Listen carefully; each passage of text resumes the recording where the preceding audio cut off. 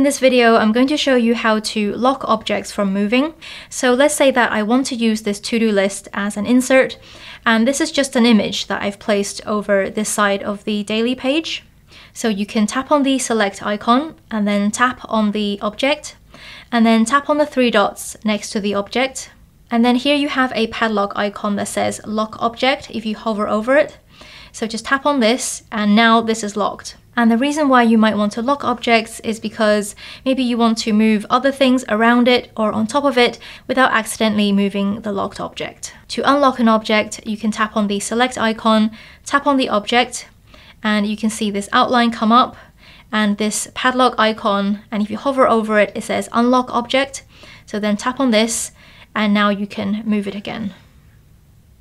Locked objects can't be moved and they can't be deleted, which is why this delete icon is grayed out. So if you're having trouble deleting an object, check if you've accidentally locked it.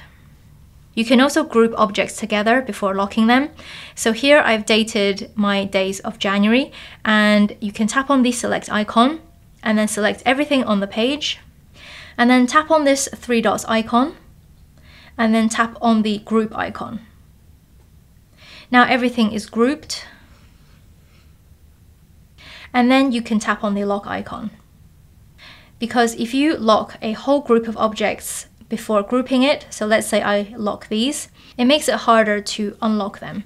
So here, if I want to unlock these objects, I now have to tap on each item to unlock it. If you find yourself in this situation and you want to unlock a lot of individual objects that are locked, there is something you can do. So you can come to this select icon and then come over here to the selections list. And here you can choose what the selection tool is able to pick up. So then come down here and then check locked.